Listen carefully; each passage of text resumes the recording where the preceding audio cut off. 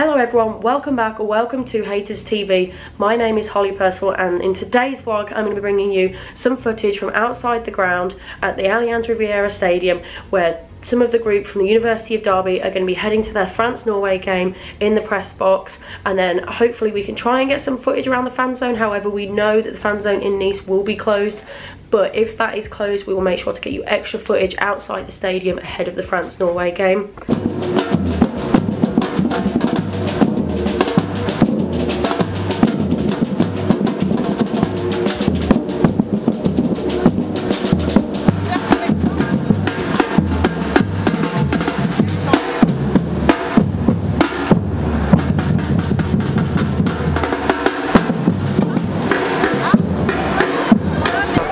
Pretty good odds that I think France is going to win uh, this World Cup, yeah.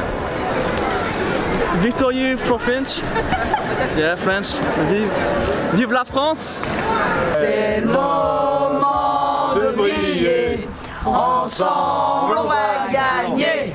Allez, allez, une étoile à gagner. C'est le moment de briller.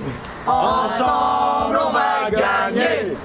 as you can see from all that footage, the France fans have come out in force and so, so have the Norway fans. Great atmosphere outside that ground. I was jealous that I couldn't go to that game.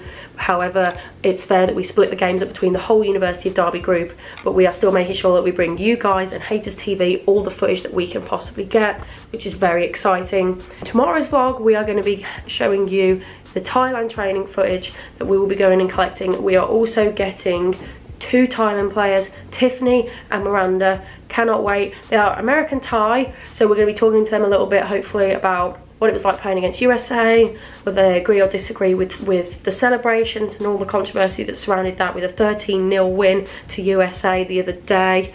Um, we will then have Sweden training and hopefully some Sweden players the day after. And then on Saturday, on the match day minus one, we will be heading to the Sweden and Thailand press conferences. So we are going to be bringing you everything that is Sweden and Thailand ahead of the game on Sunday. I cannot wait to show you guys all of that content and bring you along with us. For now, that is the end of today's vlog.